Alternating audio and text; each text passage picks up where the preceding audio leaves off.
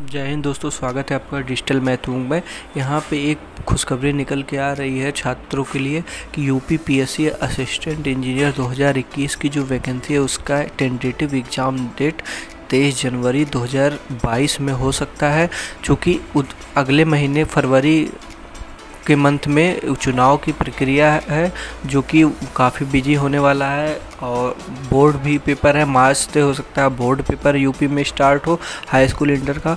तो इसलिए ज़्यादातर उम्मीद यही है कि 23 जनवरी 2022 में इस यूपी पीएससी असिस्टेंट इंजीनियर का एग्ज़ाम कंडक्ट हो। अगर यह इस डेट पे नहीं होता है तो आगे होने की संभावना है इसमें। मतलब अप्रैल, मई हो सकता है इसका एग्ज़ाम हो, लेकिन ये पहले नहीं हो सकता, क्योंकि दिसंबर में U P P S C lecturer का वैकेंसी का जो एग्ज़ाम है वो 12 दिसंबर 2021 को होने की संभावना है, जो कि होगी। पी एस सी से रिलेटेड जानकारी के लिए हमारे चैनल को सब्सक्राइब करें लाइक करें एंड शेयर करें। धन्यवाद दोस्तों।